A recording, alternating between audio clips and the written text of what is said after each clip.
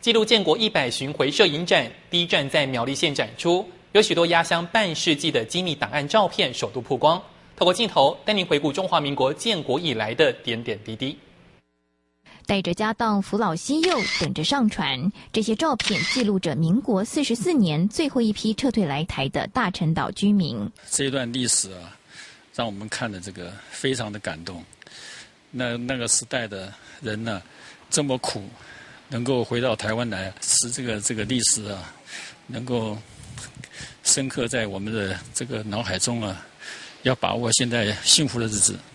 八二三炮战、美国总统访台、退出联合国，以及许多以往被列为机密档案的两张照片，勾起了许多四五年级生的回忆。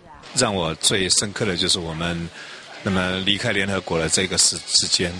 啊为什么呢？因为这个时间其实是我们那个年代对这个国家啊认同，对这个国家的感情是最丰富的。觉得呃影响我比较深刻的是呃应该是我们蒋经国先生他的夷陵的那个画面啊，他从事十大建设呢，让我们的台湾的经济起飞啊，人民生活改善了很多。那一代伟人突然这样消失了哈，让我们觉得非常不舍。透过镜头，过去的历史事件再次呈现，引人深思。那我们看到这些照片，我们都感慨很深哦。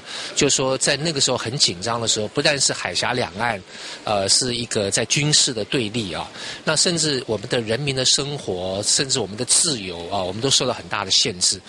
回顾过去，展望未来，走过那段艰辛的岁月，让我们更能珍惜现在。新台电视陈燕如、江纯慧台湾苗栗采访报道。